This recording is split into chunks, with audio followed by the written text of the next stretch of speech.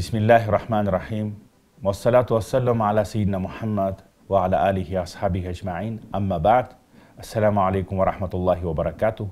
Уважаемые братья, сегодня хотелось бы вам рассказать один хадис, который был передан имамом Тирмизи от очень известного сахабы Абу Умамата, радиаллаху та'аля анху, который сказал, что пророк, саллаху алейхи вассалям, выступая на своем прощальном хаджи и делая худбу, сказал, «Иттакуллаха раббакум» – «Бойтесь Аллаха, субхану ва та'аля, своего Господа».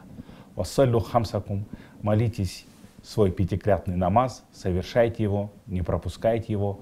Суму шахракум – «Держите пост в месяц Рамазан». «Ва адду закат амваликум» – «И давайтесь закат со своего богатства».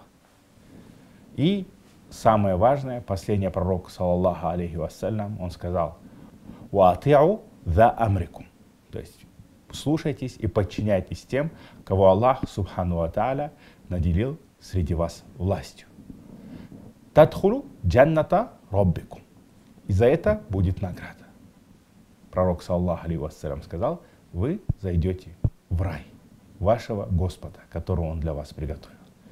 То есть для того, чтобы зайти в рай, пророк, саллаху алейхи вассалям, в этом хадисе сказал, чтобы мы молились свой пятикратный намаз, чтобы мы постились месяц Рамазан, чтобы мы давали закат и чтобы мы подчинялись своим правителям.